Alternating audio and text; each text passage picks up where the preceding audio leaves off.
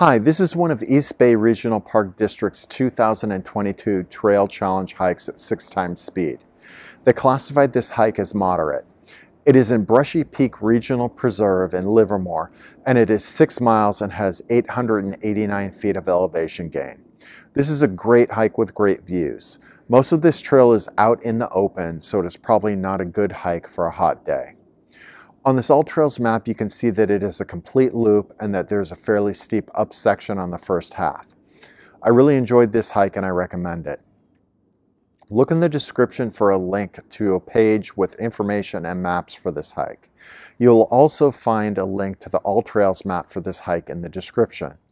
There's also other information about the hike in this video there.